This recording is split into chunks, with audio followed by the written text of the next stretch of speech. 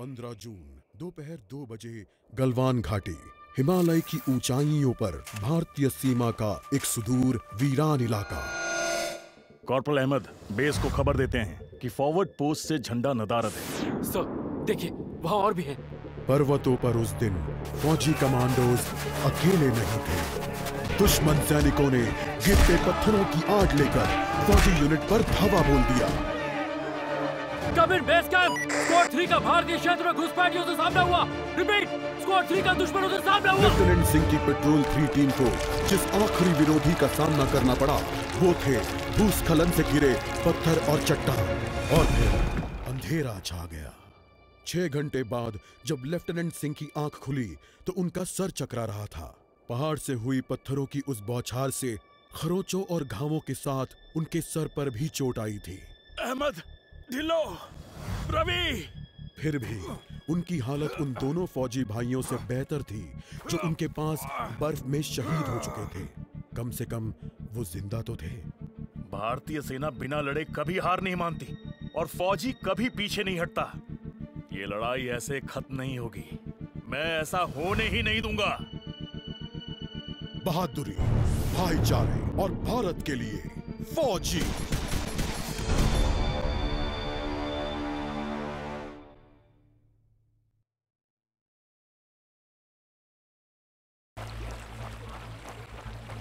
जहाँ एक घुसपैठिया होता है वहाँ और भी होते हैं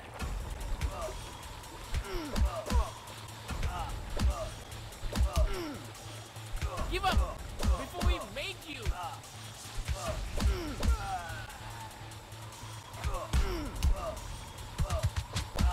Hope you told your family goodbye.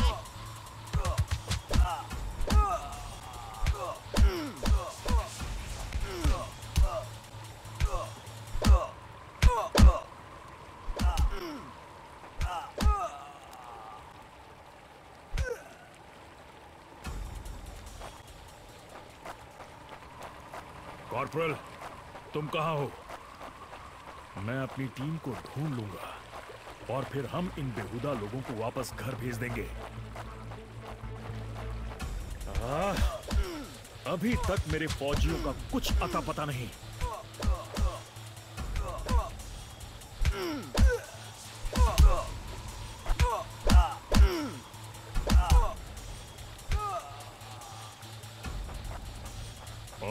घुसपैठिए ये यहाँ क्या कर रहे हैं?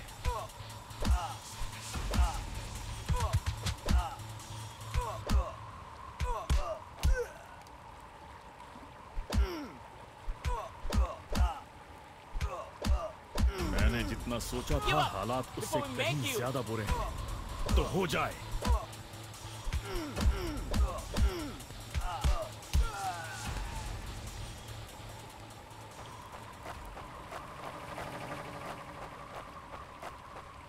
और काम ये कोई आम बॉर्डर पेट्रोल तो नहीं है।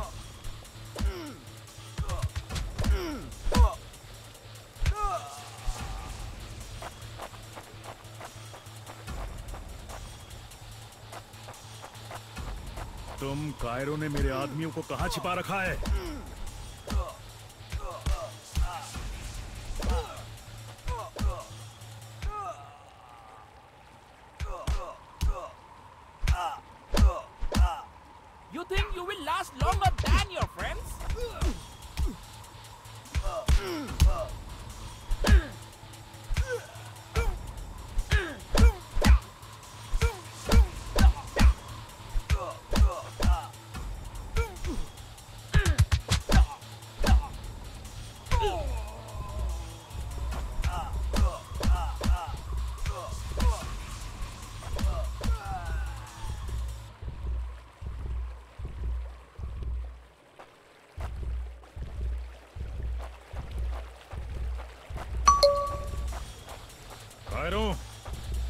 हमेशा तो नहीं भाग सकते।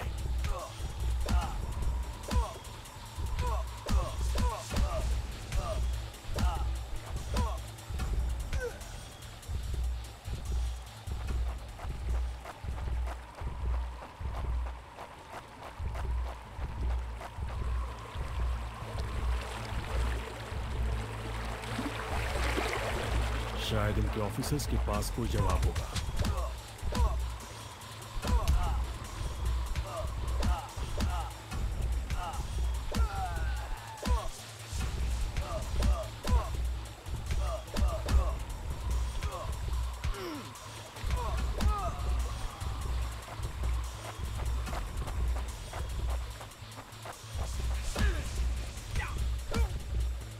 Give up before we make you.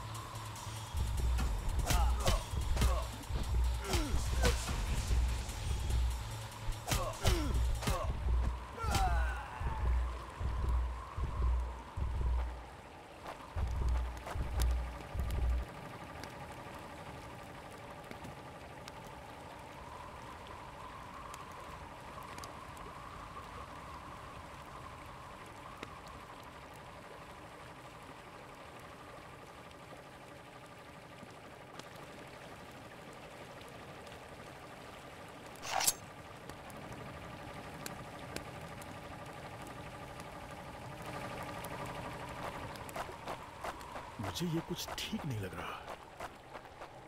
फौजी कभी अपना मिशन अधूरा नहीं छोड़ता। बॉर्डर अब नज़दीक ही है। मेरे साथी ज़्यादा दूर नहीं होंगे।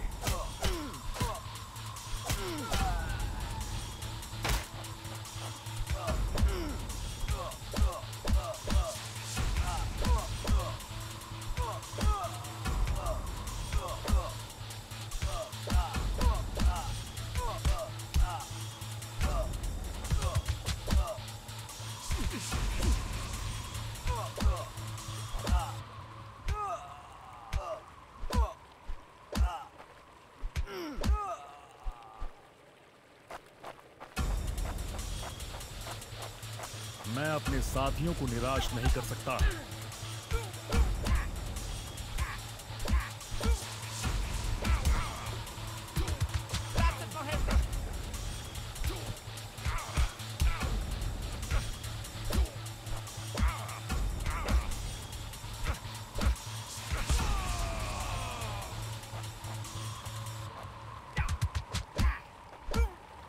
Not such an elite commander after all.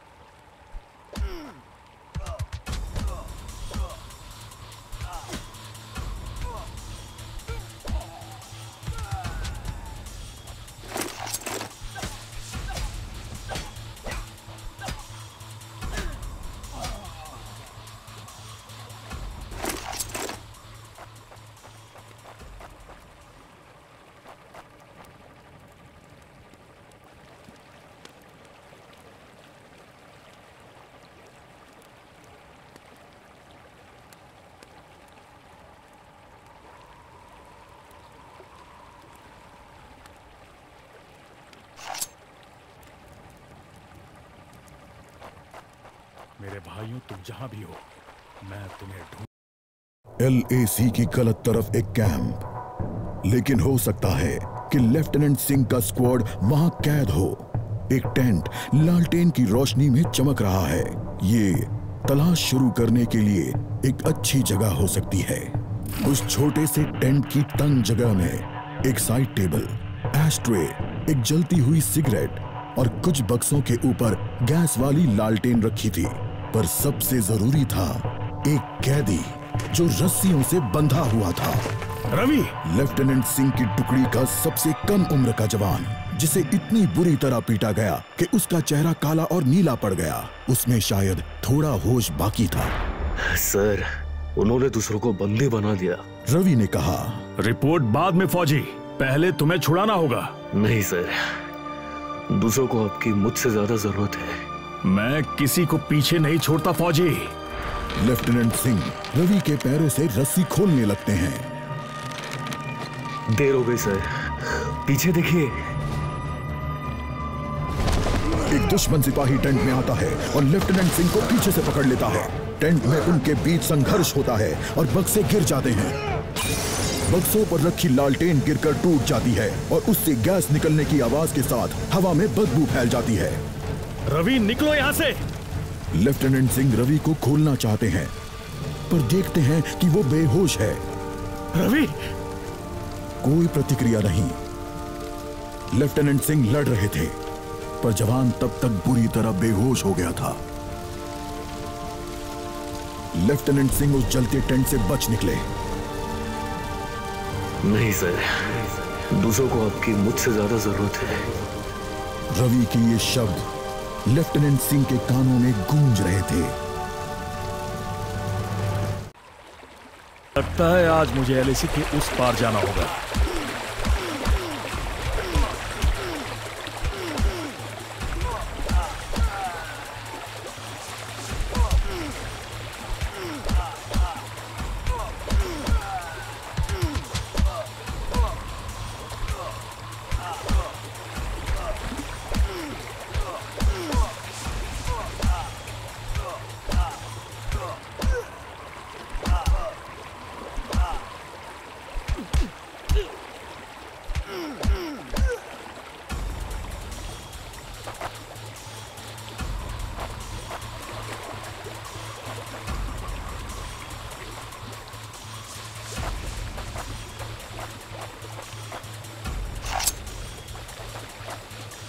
एक आखिरी कोशिश और फिर हम सब घर जा सकते हैं।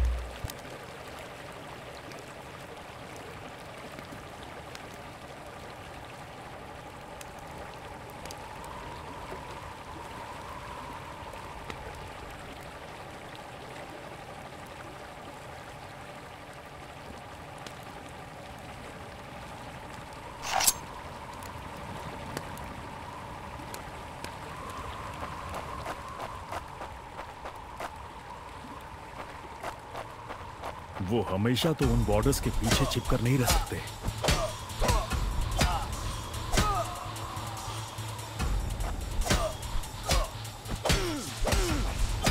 Not such an elite commander after all.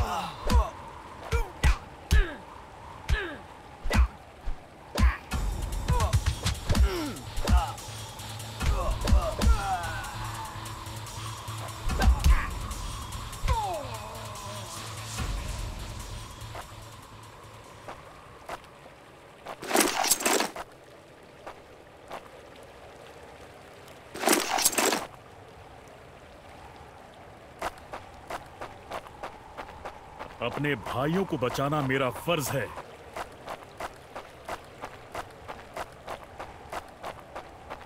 उन्होंने मेरे आदमियों को जहाँ भी कैद करके रखा है, मैं पता लगा लूँगा।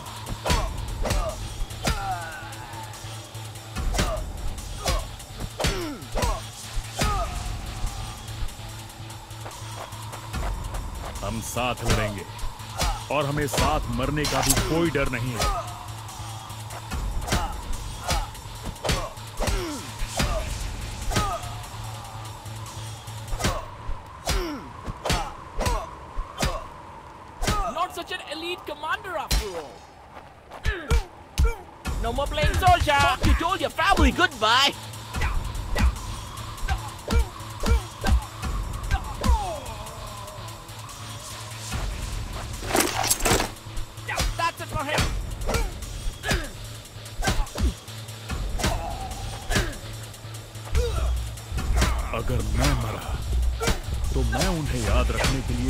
कुछ देकर मरूँगा।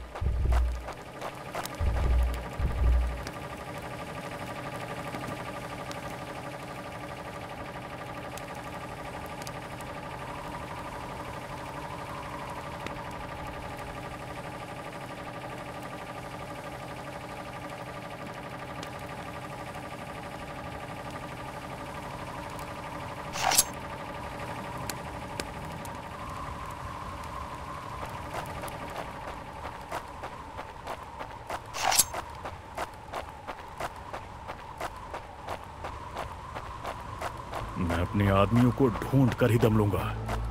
चाहे कैंप में उनकी पूरी आर्मी ही क्यों ना हो।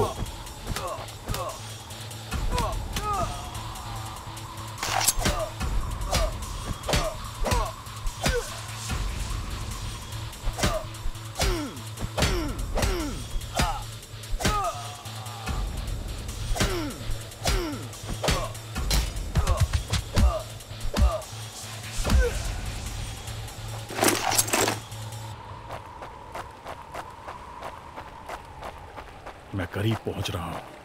वो डर कर भाग रहे हैं।